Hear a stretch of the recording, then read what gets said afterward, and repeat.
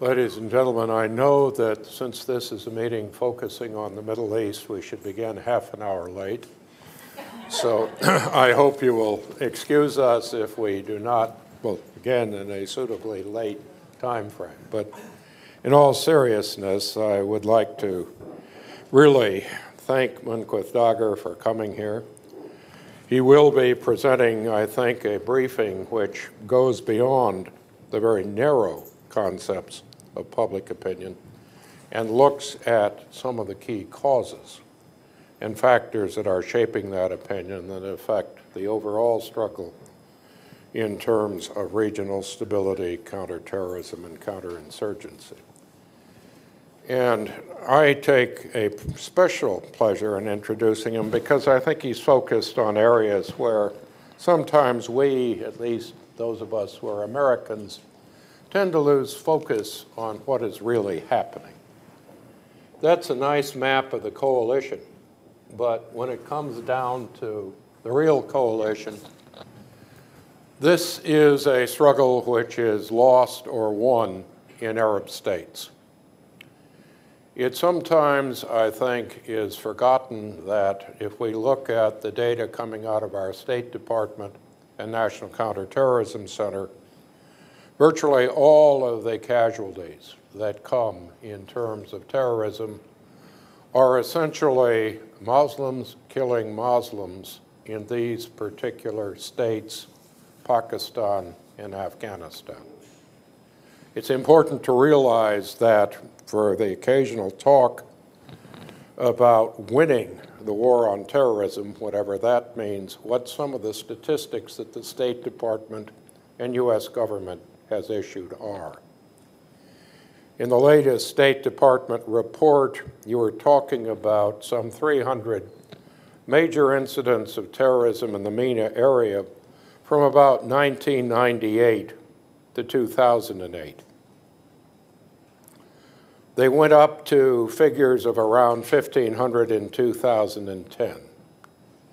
They rose to 2,500 in 2012 into around 4,700 in 2013. If you look at the actual increase in terrorist activity and casualties over the last three years, it looks like that. And it is not simply a matter of individual countries that are singled out as key sources of terrorism. State Department database breaks that out by individual country, and even in countries where the activity is low level there has been a significant increase. A RAND study that was done this year, you also saw estimates that the number of neo-Salafi or extremist groups rose by about 60% in the region over the last two years. A lot of those are very small. They're not the kind of movement that the Islamic State is. But it's very important to realize that these forces are not ones that are diminishing. I think it's also just important that as this brief goes on, we see a focus on factors like employment and on the social and economic factors that have been driving this kind of extremism and violence. If I may just give you two statistics, and for any of you who are interested, both these statistics, and far more importantly, the briefing, will be up on the website, and for any of you who would like us to send it to you directly, just give your cards to the people who will be at the door or asking questions, and we'll make sure that you get a copy this afternoon. But I find it striking, having gone to this region first in the 1960s, when you look at some of the demographics here, the population of the MENA region is a little over six times today what it was in 1950. The number of young men and women, 24 and under, is about, as a percentage, twice the percentage that it is in the United States. Depending on which European country is involved, in some cases, it's about three times the percentage, which is one reason so many people have begun to flow out of North Africa and the Middle East into Europe. you're talking about the rate of urbanization more than doubling. And if you look at figures in the Arab Development Report before 2011, you would see that when it comes down to young men in a male-dominated region that are either unemployed or subject to disguised unemployment, the percentages were more than twice those of any other region in the world. Now, these are the kinds of factors that I think we need to bear in mind when we talk about any kind of struggle against terrorism and extremism. Because obviously, if those are the figures, and I think you'll see some very important statistics very shortly, you can't win on a military or counterterrorism basis. You have to deal with the ideological and the political dimension. You have to deal with the causes. Now, I think Munqith will probably do a far better job of introducing himself simply from the quality of his briefing. But I should mention that he is an academic in terms of his background. He taught public administration at Baghdad University and also taught at the Iraqi National Defense University. So he brings to this not simply expertise as a polar, but a much broader range of expertise in dealing with these issues. And with that, let me have the expert take over. Thank you. Thank you, Doctor. I really appreciate the opportunity to, uh, to have the stage uh, this morning. Uh, on 9th of June 2014, 9th of June 2014 was a really benchmark in the terrorist history. And this is not because ISIL, or what I'll prefer to, to name it Daesh, it's not ISIL, uh, took over the second largest city in Iraq in a few hours.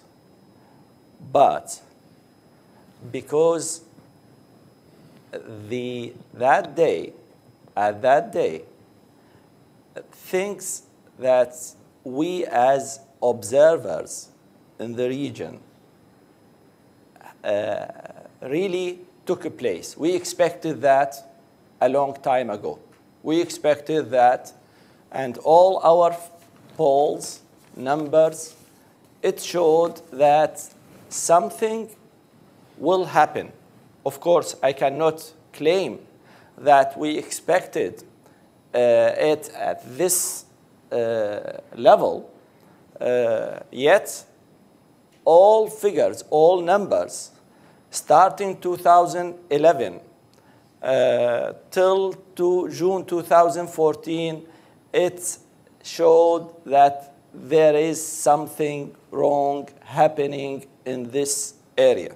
And actually, and unfortunately, uh, these warning bells, uh, no one took it seriously, and things happened uh, as you are now following. Well, after that, after 9th of June 2014, I have dedicated most of my research to understand the real reasons behind what happened. Yes, we had theories about why this took place, why Daesh has controlled all this uh, area in a few hours. And as Iraqi, I know for sure that at that time there wasn't more than a couple thousands of Daesh fighters who entered to Mosul. And there were, of course, thousands of other Sunnis fighters who are not uh, part of Daesh uh, who started this. They started this uh, if I, if I uh, name it, this revolution. But ISIL took over it and benefited from it. So I tried to understand what's going on. There are many theories. The first theory, of course, uh, uh, Dr. Cordesman uh, advised me to speak a little bit about the methodology. The methodology that I have used in this, of course, I've been working in polling in the region since 2003. And I have done over 2 million interviews in different places, mainly in, in Iraq, but also in other uh, regions. And usually the standard of our poll, we are doing it, uh, or the sample uh, selected by what we call in, in polling by PPS, uh, which is probability random uh, sampling method. Uh, so, and uh, most of the clients that I'm dealing with them are academic, so they they dig in every single detail in methodology. So I want you to, uh, to be sure that uh, all these number came from a reliable uh, polls.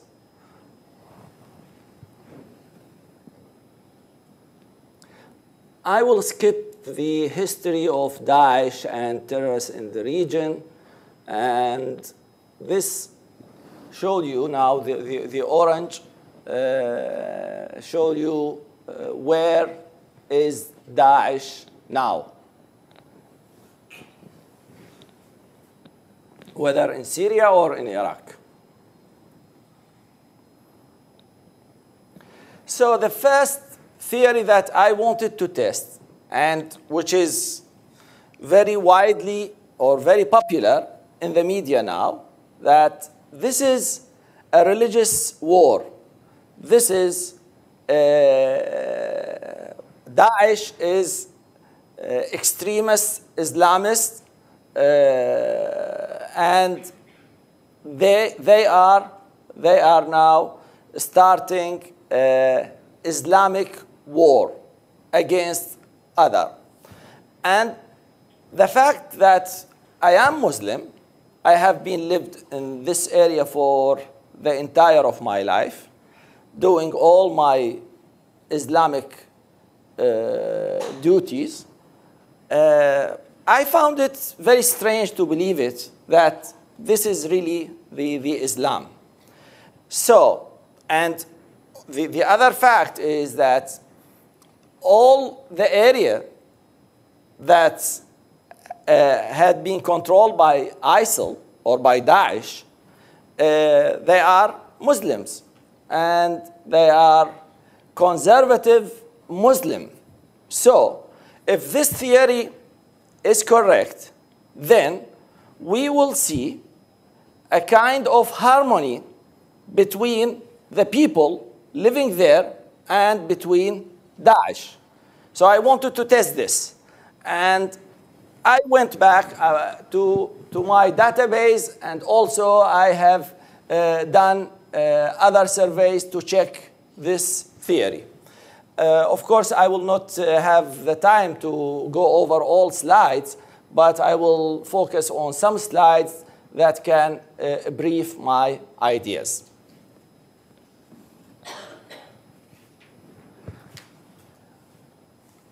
By and large, Muslims do not believe or support Daesh.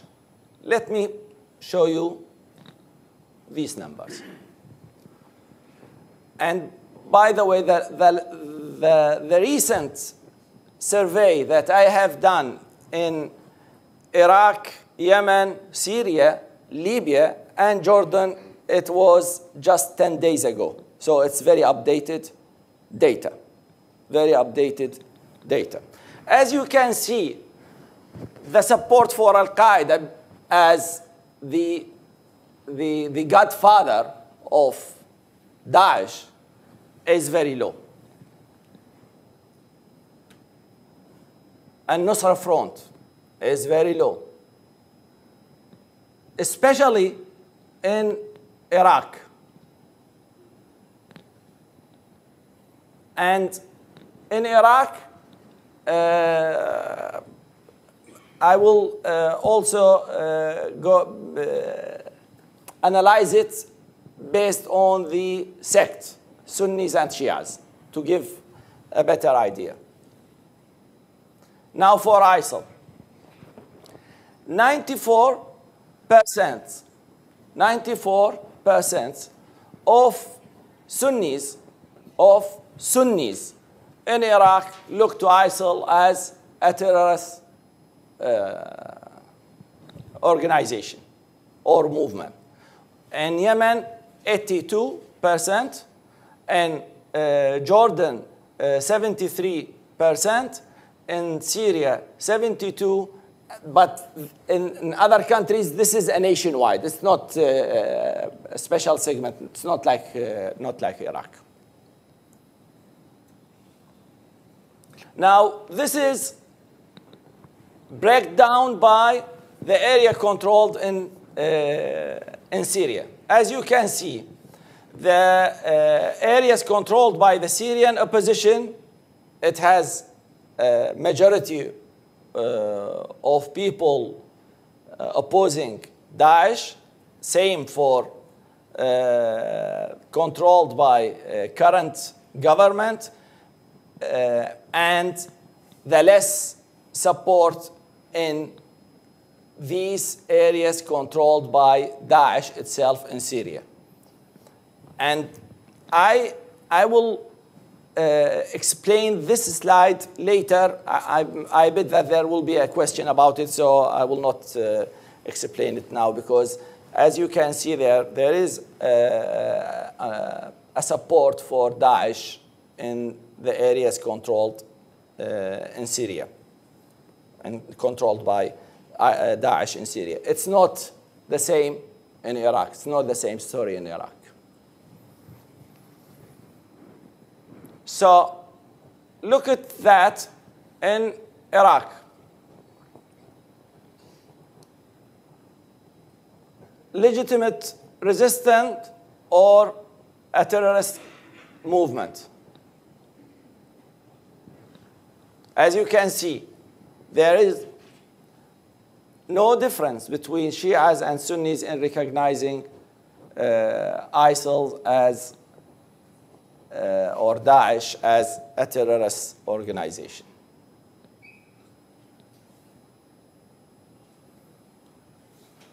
This is for uh, ISIL as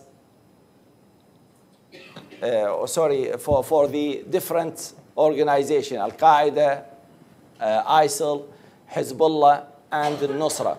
And as you can see, there is a, a, a very uh, important uh, remark to, to, to notice uh, that Al-Nusra has a lot of support in, in Syria.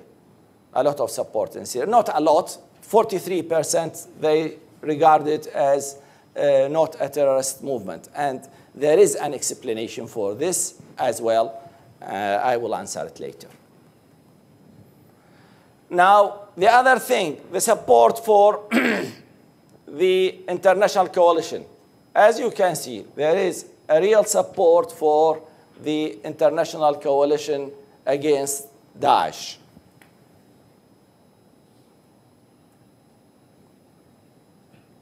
Again, this is different between Syria, Iraq, and others. And in, in the same country, as you can see, uh, there is a wide support for it in the controlled uh, uh, areas, uh, areas controlled by Syrian opposition or Jaish al-Hur. And uh, there is also uh, su support for the sorry, the widely, uh, they are widely opposing that uh, in, uh, in these areas. In Syria, there is a lot of suspicions about the coalition, and also I will speak about that later. While in the Iraqi case, it's totally different. different story, opposite, totally opposite than the Syrian.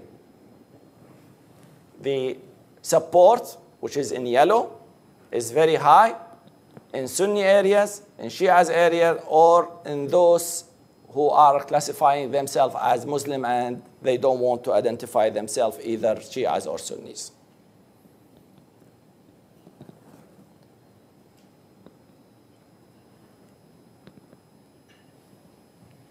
As you can see here, this is another thing that proves the theory or deny it. Those who really believe that uh, uh, people might join or help Daesh, and this is in Syria, only 19%, uh, only 19% look to the yellow two yellow numbers, only 19% think it is because of religious or agreeing with Daesh.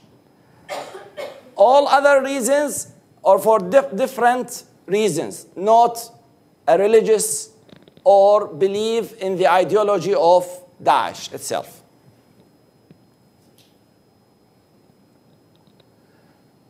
And this is the support versus oppose for the uh, goals and activities. As you can see here, as you can see here uh, in, in Syria, those who are supporting the goals and activities of uh, the uh, ISIL or, or Daesh, they are uh, nearly 17% uh, only.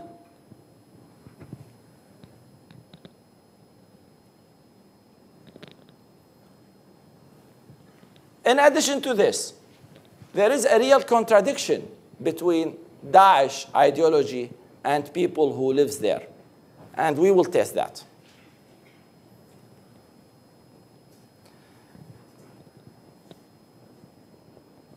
This is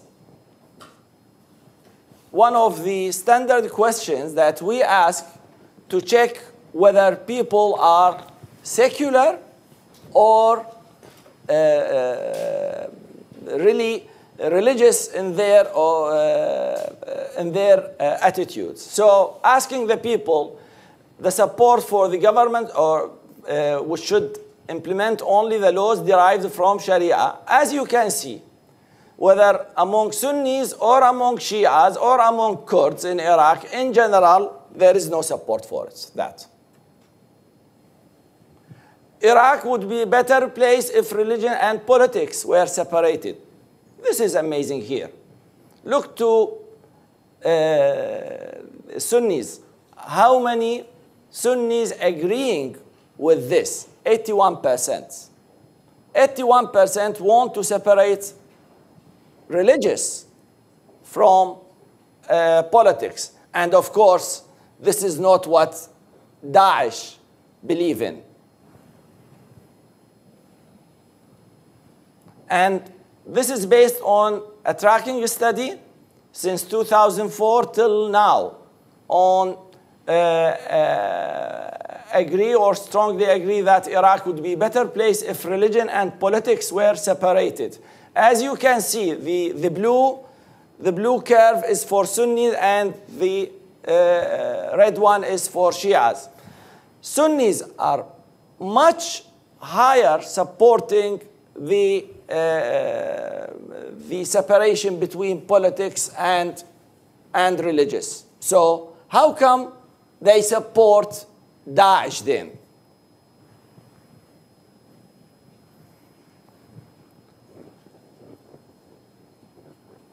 Now, this is another thing.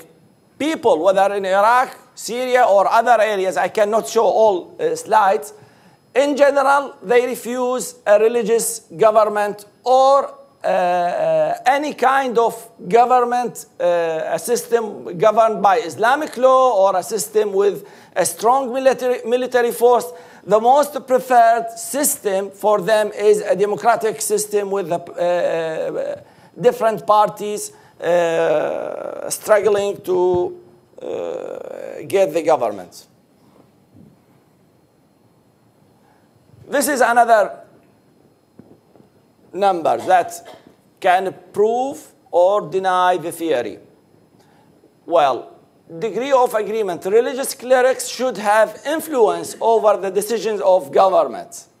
And naturally, if people supporting the clerics and Daesh and all others, Islamic uh, movement, then the support for that will be, or uh, agreeing with that will be high. It's not the case neither in Iraq nor in Libya and in, in other uh, countries as well. This is from Libya. For me, and as someone who lived there, uh, regardless of the numbers that I showed, these pictures, these pictures really summarize the contradiction between Daesh and people who lives there. The upper two uh, pictures, you saw it in, in media, how these Daesh people went to the museum of Mosul, and to those who don't know the history about uh, of Mosul, Assyrians who live there in, in Mosul, their civilization is even more ancient than Uh, uh, ancient Egypt. It's, uh, it's, going back to 7,000 years. And uh, people in Mosul really proud of being part of this civilization. So seeing these statues smashed, crushed by Daesh will make the contradiction even, even more. And here, there is something funny about it, which is Daesh has took over Mosul for eight months, since last June, yes? So it's over, it's nine, nine months. Why they just remember now, just one week ago, to go to the museum and smash all these statues. Why? It's a big question mark. Because if they really believe that this is against Islam to have these statues and others, if it is really against Islam, then, and as they claim that Prophet Muhammad, when he entered Mecca at that time, he smashed all these statues. Prophet Muhammad did that at the first day he entered Mecca, and it was in Kaaba. Uh, uh, people pray to it. So it's not the same case. Why after nine months? They just remember now to smash it. Well, let me tell you this. Because one of the uh, uh, most important uh, resources of fund for Daesh was smuggling these statues, selling it to uh, all these uh, in, in, in black markets and getting millions of dollars on it. But because just two weeks ago, the uh, UN and United States started real sanction in the, on the border, watching everything, it became very, very difficult for them to smuggle any more uh, statue. So that's why they decided at that moment to go and uh, uh, do, do this. So it's, it's not a religious thing. It's a business thing. It's a business thing, and now it's a, propag a propaganda. The, the, the, the down two pictures, it's for uh, what we call uh, the mosque of Prophet Yunus. I don't know in, in, uh, in English. Jonah. Yeah. It's one of the most uh, uh, important uh, mosques for Mosul and the most ancient mosque in Mosul. Really, Mosul people love it. Not like they, they, they, uh, they visit this mosque on a weekly base or even sometimes on daily base. So seeing Daesh destroy their, this, uh, uh, this benchmark for, for them, this important thing for them, will also bring them in a big contradiction with Daesh. So, if it is not religious, then the second theory, it's because of poverty or lack of services or etc. These might be the, the, the, the main reasons behind the, uh, what's going on or uh, uh, ISIL taking over uh, Mosul. Is it poverty or lack of services? Let us test this. If it is poverty or lack of services or etc. in these areas, I have made a comparison between unemployment rate in Nineveh, Al-Anbar, Salah ad-Din, where Daesh is now there, and between the rest of provinces in, in Iraq. As you can see, the average of unemployment rate is 17.9 in these three areas controlled by Daesh, and it's 17.4. So, uh, and when uh, I did uh, the, the statistical uh, test, there is no significant uh, differences between uh, both of them. So it's not unemployment. When we ask this question, and we are asking this question on uh, nearly on a monthly basis. Statement close, uh, comes closest to describing your household income. Uh, Shias in red, Sunnis in blue. As you can see, there are no differences in the uh, uh income level of the households. So it's not the income nor the unemployment. The financial situation, there is no big difference. Standard of living, not big difference. Moreover, in Libya, where now Daesh started working there, uh, if you go back to the uh, United Nations Human uh, Development Reports, Libya classified among the, uh, as you can see, the high human development rate. It's, it's ranked 55, Libya.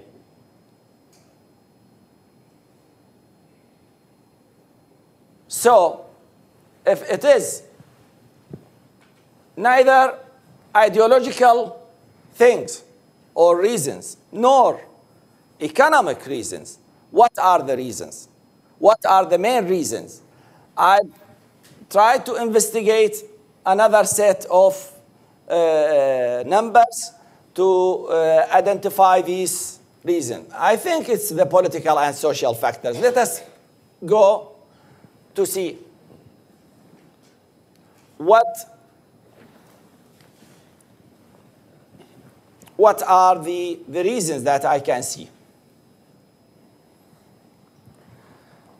Sunnis are discontent. This is one of the uh, astonishing slides. As you can see here, this is from January, February, March, July 2014, when we ask Sunnis about going your country going in the right or the wrong direction. As you can see, the blue, the blue uh, it's very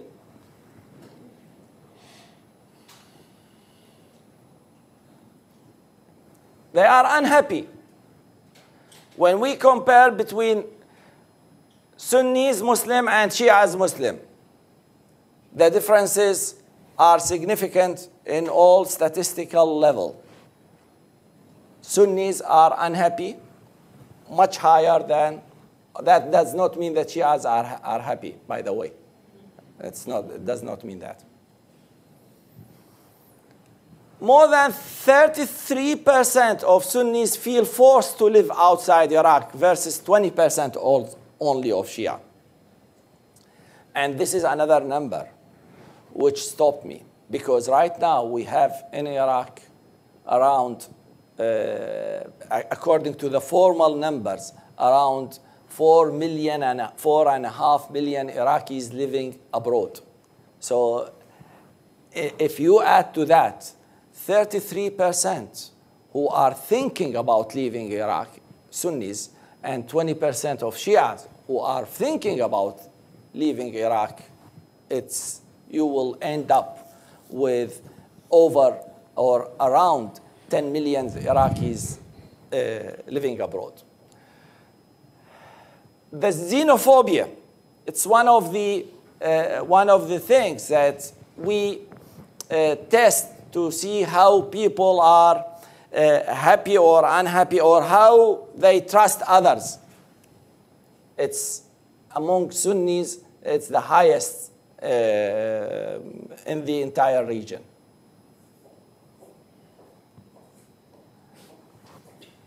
See the differences between the red and the blue.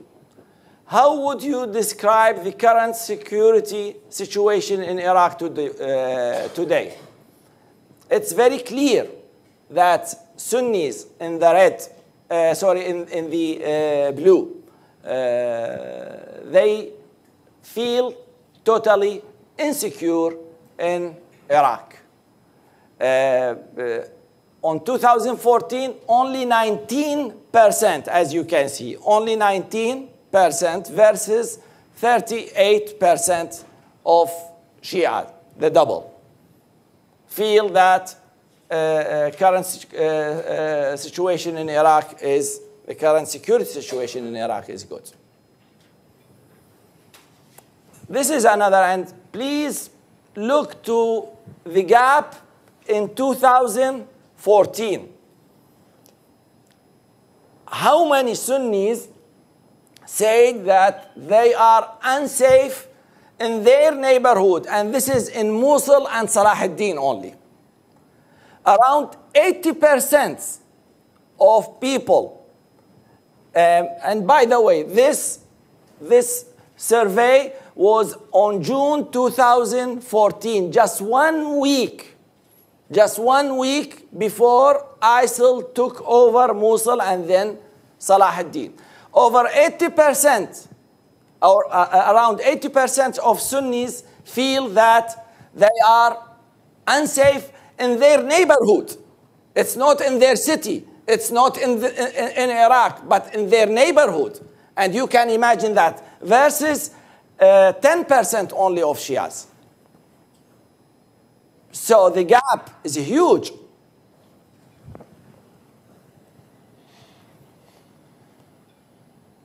This is the, the xenophobia. Look to uh, uh the differences in 2014 between Sunnis Muslim and Shias Muslim.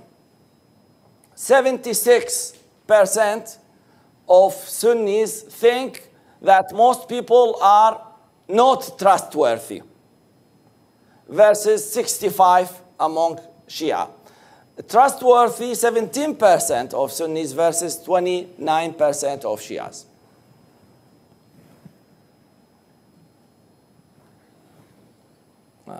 I will skip that lack of trust. And this is also, this is amazing here. Look what, how, uh, or uh, the differences between Shias and Sunnis in trust, whether in their government or in other institutions. As you can see, in 2014, the trust, 68% of Shias, they uh, they have trust in their government versus 36% only of, of Sunni. And this is in Yemen, it's, it's the same. Confident in the parliament, it's the same. Sunni Arab, 94% uh, they don't trust, 94% they don't trust parliament versus 63% of Shias.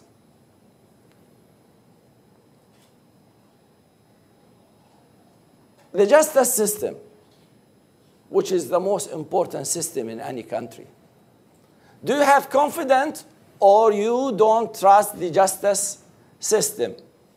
See the trust among Shia, 68% in the justice system, while the trust among Sunni is 68%.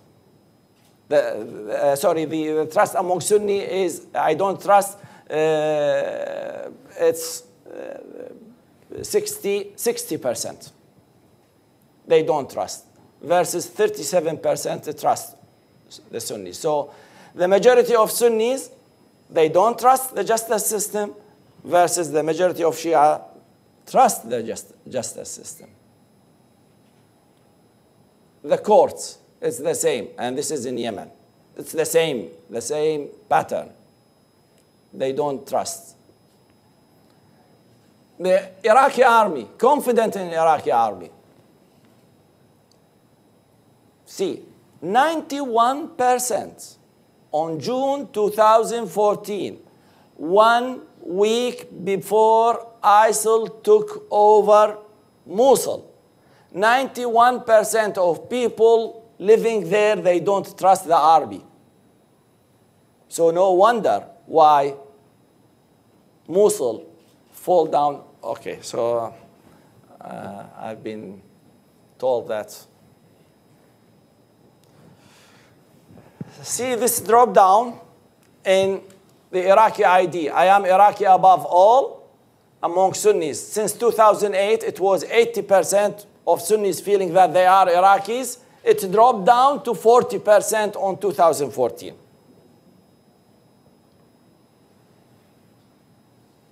There is a basis for hope. Yes, there is. And uh, because of the change of the government of Maliki, you can see here one important slide. Trust in government jumped in September 14, just a few days after the establishing of the, of the new government, it jumped to 47% among Sunnis. If you remember the last slide, it was in June 2000. In June 2014, it was less than or about 10%. So it jumped 47%. Support for fighting ISIL, 63%. And, and this is in Mosul and Salah ad-Din. Yet, we have to be very cautious because of the negative perception of militias. People or Sunnis living there, they don't trust all militias, whether Sunnis militias or Shias militias. As you can see here, the negative impact for Badr militia or Ahl al-Haq militia or others, it's, it's very low. Now they are over 1 million. Uh, the conclusion, I will only focus on the first one.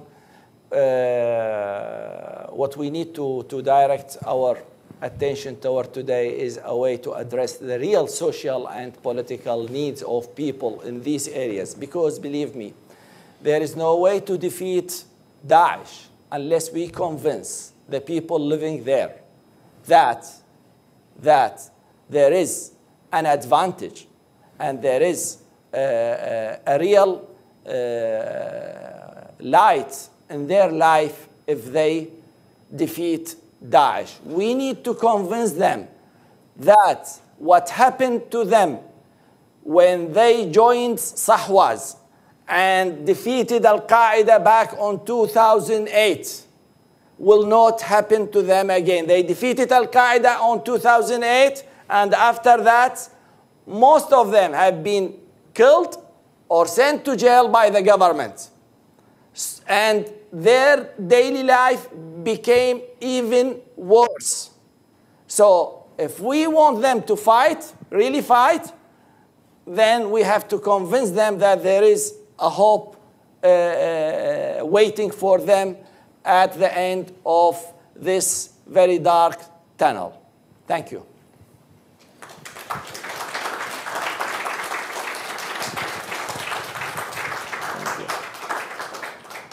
Ladies and gentlemen, I'm going to open things up for questions, but let me make two points. First, this is a complicated set of results. There are a lot of numbers.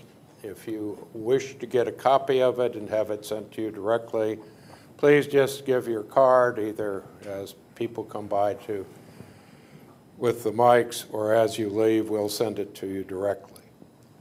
There's one other aspect I would just note. There is a rough correlation between the UN casualty data in Iraq between 2011 and 2013.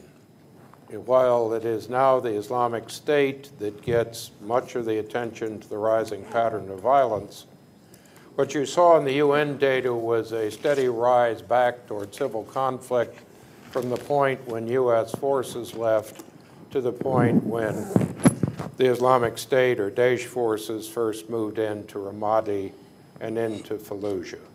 And if you looked at where the casualties were, you could see that a lot of this violence was being directed against the Sunni parts of Iraq.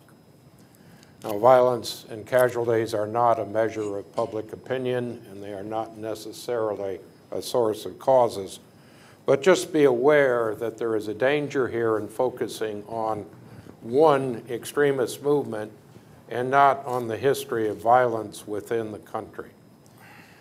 Uh, I will ask you, I'm going to, I see a number of people here I know, but I'm going to pick you out by appearance.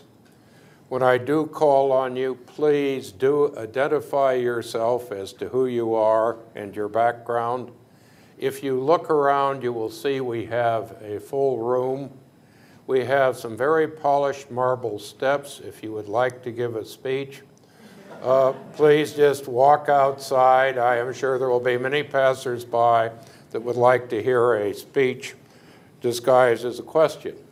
So if I may, please do end with a question mark, a one-part question, and one that is fairly short. And with that, please, who would like to begin?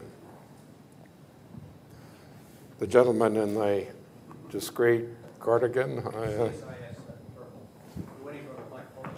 yeah, please.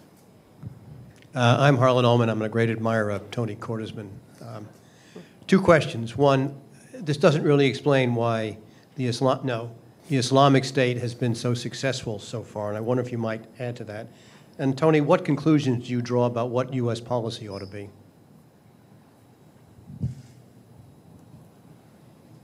Why don't you begin Yeah. Uh, okay. Why it's so successful? I think this explains why it's so successful. Because right now, everyone is focusing on the ideological thing in fighting Daesh and in dealing with Daesh as extremist, uh, only as extremist movement. Daesh is making the other uh, claim. They are saying that we are bringing justice back to you. We are bringing unfairness uh, after you have been treated unfair. We are defending our Sunni community. So without taking out these claims from ISIL propaganda, we will not defeat it. Harlan, I think that it's a very good question, but part of the problem with strategy is that we aren't in control and really have very limited influence over quite a number of the key variables. When it comes down to the divisions between Kurd and Arab, or Sunni and Shiite, these are issues where the United States has already tried to bring unity, find compromises. We've done it for a long time. The actual practical impact, as you've seen from these figures, has been very limited. Right now, the other problem is that as military forces advance, the question of how in these areas you bring stability, you prevent attacks on Sunnis, you offer some kind of economic security, you are actually reintroducing a pattern of governance into these areas. These are issues we have limited influence over no aid money, no plans for forward presence, and no clear indication that we are even going to, at this point, have a military presence as the forces move forward into the urban areas, if indeed they do. So we have to be very careful. We are at this point committed to influencing the security dimension from the rear and by the use of air power. Without having U.S. troops present even as forward advisors with regular Iraqi combat units. And there is no strategy that we have yet articulated for what we will do, if anything, in the areas that would have Daesh driven out. The other problem to remember from the Iraqi side is that the Iraqi per capita income is roughly something on the order of a quarter of the income of Iran before this crisis began. It was about $7,500. Probably now down to about 4,000 and they are in the middle of a major crisis on oil revenues, which raises serious questions about how they are going to afford to deal with the impact of liberation. I think these are really critical issues. They're not something that anybody has a good answer to. And if any of you have not seen what Kobani looks like after being freed, there's almost nothing left. Urban warfare is not necessarily gentle, kind, or something that lends itself to establishing order. Next question, please. Uh, the gentleman in the second row there. Wait for the mic. Daniel Serwer from Johns Hopkins SAIS. There's an offensive going on apparently to retake Tikrit. Can you give us an idea, Munqith, what you anticipate the reaction to that will be from the population in Tikrit, in particular given the role of the Shia militias? Well, I didn't have enough time to, to go through this because people, if you have living there, if you put them for them, the Shias and Iranian militias at one side and ISIL at the other side, they will prefer ISIL. They will prefer Daesh. I think this is. Uh, Uh, let's see, there's a question here in the front row. Pat Bergstresser, former public diplomacy and public affairs advisor for Iraq. And I'm just curious as to the smuggling that goes back and forth why there hasn't been an effort in, in your minds, both of you, uh, as to sealing the country off and controlling things like that. Thank you. Why is Why haven't they done more to prevent smuggling oh. by Daesh in and out of the areas they occupy? Well, I d- I don't think I got the, the, the, the answer, uh, the question right. The oil smuggling. Yeah, the oil smuggling. What about it? Well, and the weapons smuggling, why this hasn't been controlled in some way? Uh, Has Iraq made any statement? Well, first, the main smuggling areas do not go through Iraq. They go through Turkey, Turkey. and through Syria. Yes. Second, the smuggling went on pretty thoroughly until essentially you had both a massive deployment of border police, which at least reduced it to corruption. This is before all of this. And the Sons essentially shut down the rat lines that supplied it. The whole idea that you can secure these desert borders or a very complex pattern of Turkey, uh, in general, efforts in conflict situations to secure borders don't work regardless of the intent of the people involved in the international community. The other factor to remember is the sheer incentive, both for Daesh and for individuals. If this is all you've got, and remember, literally, millions of people have been displaced away from their homes and businesses. this is what you are going to do. Uh, The next question, let's see, I'm going to start in the far back.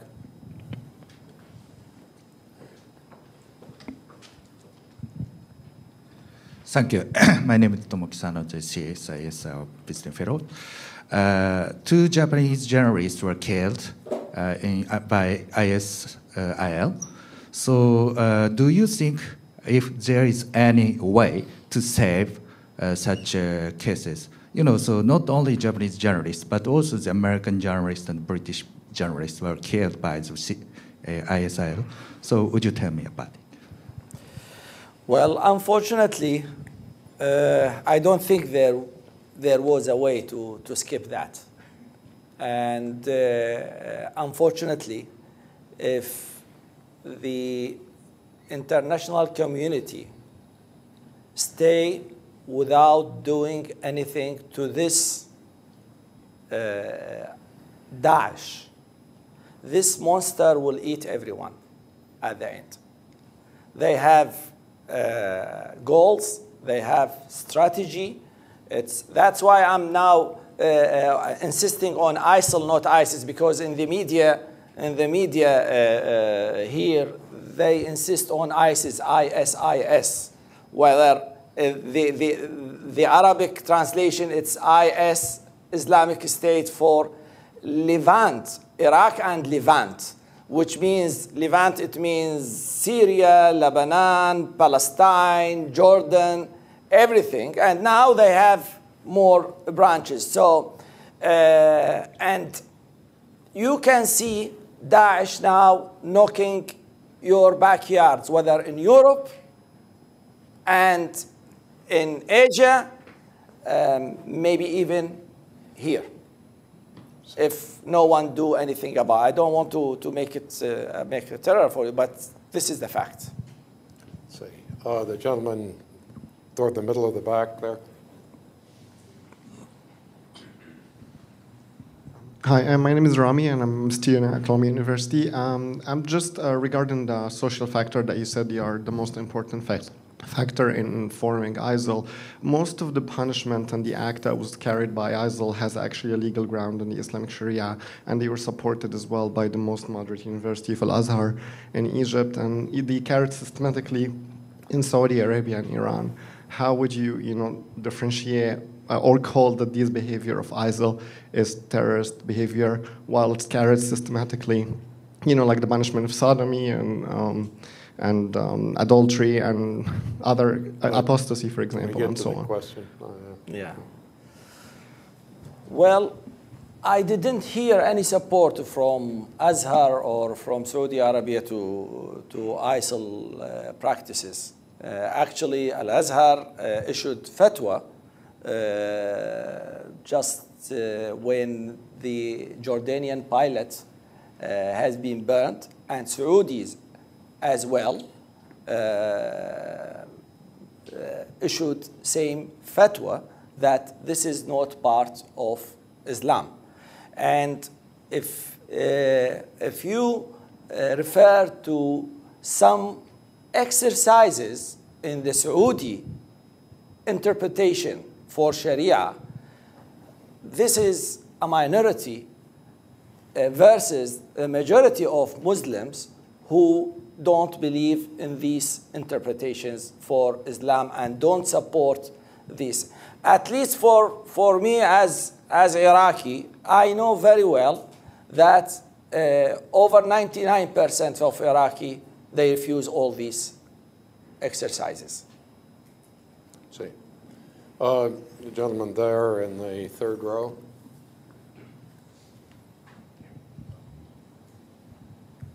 John Rothenberg, I'm an Afghanistan specialist.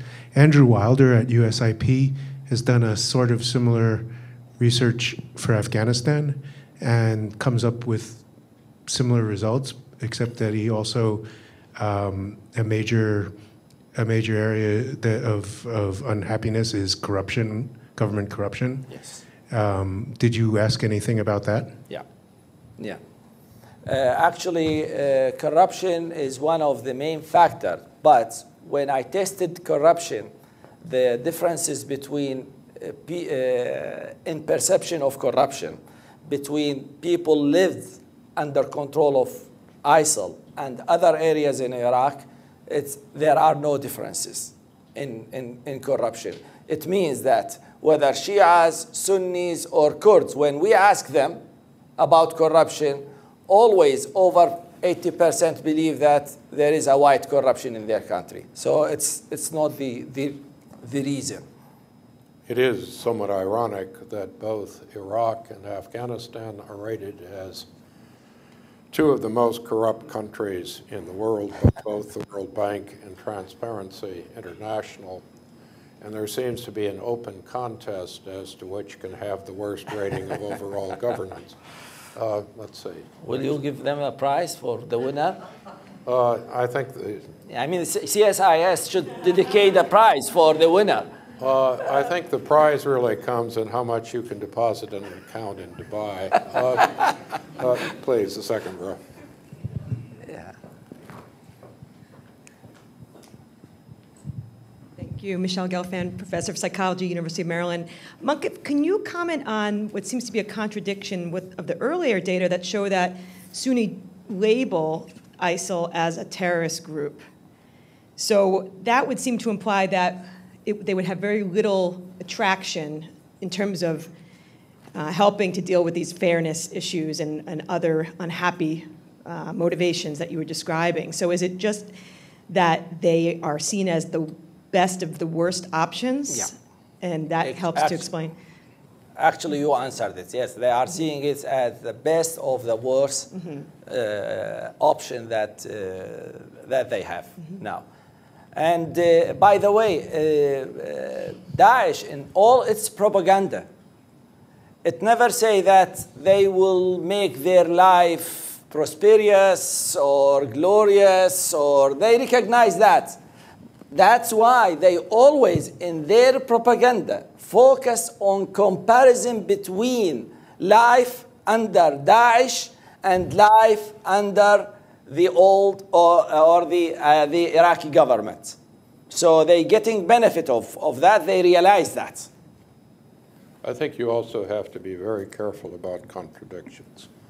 We tend to forget that you're talking, for example, in Mosul, the city which probably still has over a million. Out of the total fighter strength, frankly, the media is making it up because there are no reliable sources for any of these numbers. But at most, we're talking 35 to 50,000 people in the entire area. And if the estimates of foreign fighters are what they are, that takes us down to about 25 to 30,000 Iraqis maximum. So it is the people with guns, it is the people who are violent who get to dictate the pattern of extremism.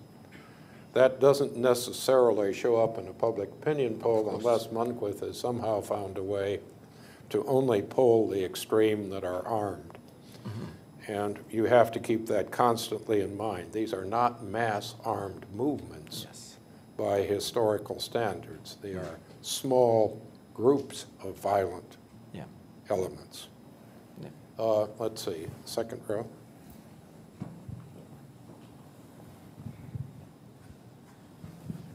Amal Mudallali with the Wilson Center. Um, everybody is talking about the upcoming uh, Mosul uh, battle to take over uh, Mosul by the Iraqi government. uh, and uh, there is fear that there, we might see massacres uh, because of the Shia uh, militias and stuff like that. Do you see any signs that the Iraqi Abadi government is going to deal with the situation differently from the Maliki government? And do you have any numbers about how Iraqi Shiites feel about Iranian uh, interference and fighting on the ground in Iraq? Thank you. Well, uh, about the uh, new government, all what we hear till now is promises, nothing on, on the ground. Actually, the, uh, the militias became so strong. And uh, I certainly believe that Al Abadi is trying to do something, but uh, it's, it's out of the control. I mean, the, the, the militia is now over 1 million. uh, fighters uh, supported by uh, Iran, and uh, they got uh, fund, and they have all. But asking me, will they be able to to enter Mosul? I don't think so. Uh, I certainly believe that uh, unless people of Mosul themselves and people of Salahuddin or Sunnis in these areas convinced that there is an interest to fight ISIL, nothing will. Yes, the, the, the airstrikes, the US military, the uh, Iraqi army can help, but the main role will be for these fighters to fight. See. Oh, the Shia numbers, in public opinion, this is one of the things that uh, um, uh, maybe I agree with uh, Dr. Uh, Cordesman about it, about uh, public opinion. Public opinion, uh, in sometimes, in a certain way, cannot measure everything. For instance, when you ask Shias in Iraq about Iran, of course, there is uh, a clear pattern of decrease in supporting Iran. It's clear. Yet, majority are supporting uh, Iran. And when we do uh, more focus groups and qualitative research, because this cannot be uh, uh, identified in the surveys, it seems that people, when you ask them about Iran, the Shias, when you ask them about Iran, mostly they think that you are attacking or you are insulting them because now it is an insult for Shias Arab made by, and this is one of the biggest mistake by Sunnis and, and others to accuse Shias that they are Iranian followers. So when it comes to this point, they say that, yes, we support Iran. Not because they support Iran, but because it's a way of saying that uh, we are Shias. Uh, is it clear for you? It's, it's not supporting Iran it, itself. See. Uh, the gentleman in the middle there.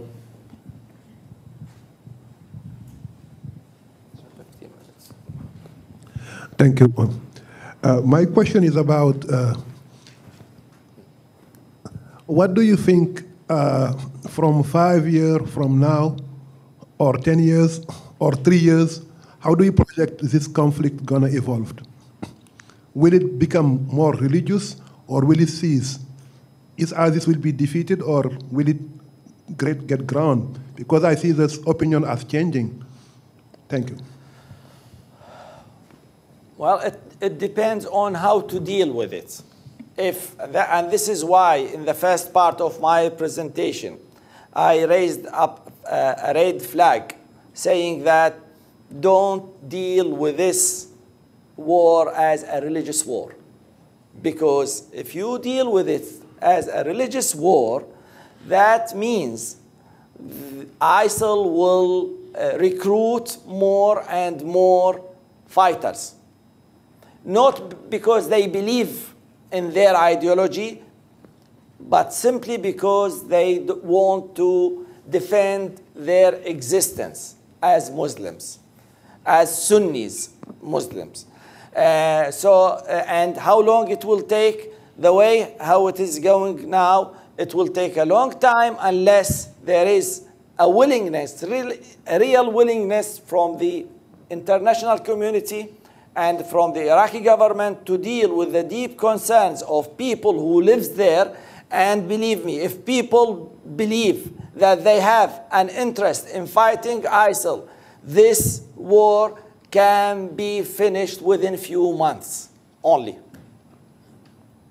Uh, the lady in the middle row with the uh, headdress. Mayada Sabri at Tahrir Channel. Uh, why are not arming the Sunni tribes until now, and who will uh, hold the ground until uh, after the liberation uh, from the U.S. view? Thank you. Well, uh, I cannot answer why they are not arming the, the Sunnis now. The polls does not show this, this is based on my, my opinion. I, I think there, are, there is no clear strategy, whether among the Iraqi government or the US government, unfortunately, on how to deal with this situation. Uh, that's why there are, uh, and uh, unfortunately, in Iraq, it's the, the main reason for the government, I think, is the pressures by Iran and by militias not to uh, militarize the, the, the Sunnis. And here in US, as I can see it, it's the political debate between both wings which uh, make uh, the decision uh, very difficult to, to be made. I think that the United States has announced that it has sought to create the equivalent of provincial national guards in Sunni provinces. The way that is structured is would begin with local Sunni forces that would be supported by the U.S. As yet, several things have happened. First, the central government has not created the incentive for major factions to turn to the central government and away from Daesh. Elements that have tried have not seen the flow of money or arms with any reliability come from the central government, and promises have not been kept.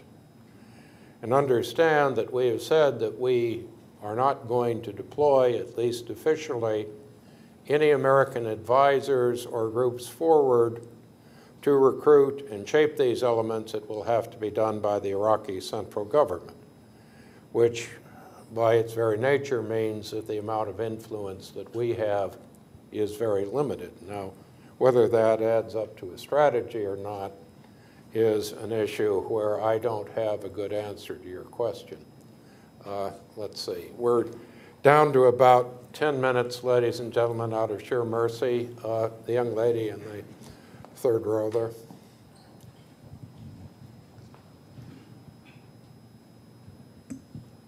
Thank you. My name is Amanda Hare. I work in international development. My question is about the slide on Syrian public opinion of an international coalition being present in the region. I was wondering if, when you asked the question, if you distinguish between an armed coalition and a coalition of um, the UN, USAID, DFID, for example, a difference between an armed coalition to fight and, and a coalition to actually provide services. And then my other question for Dr. Cordesman is if such a coalition were to be formed and our development work in the region to be increased, specifically in Syria, um, where do you think the efforts should be focused first? Well, for the first part of the question is uh, we uh, clearly define the coalition as the armed coalition. So uh, people in Syria in general, they don't welcome the, uh, this, uh, this attempt. Not because they don't want it, but because they don't trust it. And there is a difference because they have a bad experience with, uh, unfortunately, with the U.S. airstrikes. It's always, it always uh, aim as they uh, and I have many videos in my computers to show to you with interviews with, with people they uh, deeply believe that this strike uh, goal is to help Assad to keep uh, his control over Syria. It does not aim Daesh itself, so that's why they don't trust the international coalition forces. I think it is nice in theory to talk about a coalition of the unarmed and the Noble, you might want to look at the figures from the UN Human Rights Commissioner, Commissioner on Refugees, sorry. You now have nearly 5 million people in Syria basically listed as under siege or where no one can get them aid because the factions involved are fighting with each other and using the cutoff of aid in different ways as a political weapon. You also might ask, given the Afghan experience, which somebody was mentioning earlier, we actually had a group called UNAMA. It followed in the noble tradition set in Cambodia. It was supposed to coordinate aid over a 13-year period. It never even issued a report or a plan for coordination and never cited the actual pattern of international aid flows. One difficulty here is a coalition of whom, with what capability, to actually do what in the field or even in aiding the central government. And you might want to look at exactly what the impact of aid was after about 2007, when the money actually peaked, according to World Bank and other studies in places like Afghanistan, because quite frankly, an awful lot of it, if not most, was simply wasted. And we saw exactly the same patterns in the SIGIR reports on Iraq. If you don't have a government and a native structure that can actually absorb and handle aid and governance, you can often achieve limited project benefits but actually changing national behavior, dealing with the overall needs of the people. Uh, frankly, the end results have been remarkably discouraging when you bypass and the if, culture and system. If you allow me, you cannot do these humanitarian efforts without a protection because you will end up with hundreds of these humanitarian workers uh, captured by ISIL and beheaded, and things will be even worse and worse. To be perfectly honest, I think a coalition of the noble is likely to be a coalition of the ineffective and the dead. Uh, next question. I guess we're down to, uh, I'll take two more. One, the lady in the back, please. Hi, uh, Amanda Kadlec. I'm a Libya specialist. Um, I'm uh, interested in how um, typically in Washington there's this focus on uh, military intervention and airstrikes to, to address the ISIS problem. And as you suggest, we need to look at this in terms of a political and social issue and really get at the root of it. But how do we even start that? And I would totally agree that I think that airstrikes, and as we have seen, have rarely been beneficial in the long run. Because what's left at the end of it becomes a new enemy sort of like, you know, after the Iraq intervention, we end up creating a new enemy of ISIS. So after ISIS is defeated, what kind of new enemy will then form? Um, so given the assumption that airstrikes aren't effective and can't be effective in the long run, where can we begin as the international community, which typically means Europe and the US, but um, where can the inter international community begin to lay that framework? And, and what are the concrete steps that we can take to do that? Let me just take one more question. You can answer both yep. at the same time. There was a lady who was, okay, please go ahead. Uh, my name is Angela Ewing, Westminster Institute. Um, I'm curious about Syria. Can you go into more detail? Um, I believe you said earlier that um, the percentage of folks in Syria is actually, there's a higher percentage of folks in Syria who actually support Daesh than in Iraq. Um, I think it's about one in three, perhaps. And of course, it's a totally different story from Iraq, so I was hoping that you could maybe go into more detail on what's happening in Syria with that. Thanks. All right. Now, for the international community and what it can do. I think the international community and the U.S. government, I do believe they can do a lot uh, in this. Uh, I mean, we need to send at least three, four important messages to Sunnis live there to satisfy their fairness, to tell them that they will not be marginalized anymore. Uh, there are certain laws uh, which is regarded as unfair laws against them, discrimination against them. These can be sent in uh, a few days, these, these messages by, by the government. But currently the government, the Iraqi government cannot do that or does not have the will to do that unless there are real pressures from the international community and from the US government to make it, to force it to do that. And when the US government insisted on changing Maliki, it has, he has been changed. When the US government, with the coalition or with an agreement with the Iranian government, agreed to put Al Maliki on 2010 as a prime minister, although he lost the election, things went smooth. So don't tell me that the international community or the US government cannot make pressures on the Iraqi government. But the question is does the international community or the US government have the will and the strategy to fight ISIL? This is a big question. And I didn't show you some numbers about the conspiracy theory. There is a wide, a wide uh, belief in the region that ISIL has been created by United States and by the international community. Of course, I don't believe in that, but, but yes, I can understand why. I can understand why.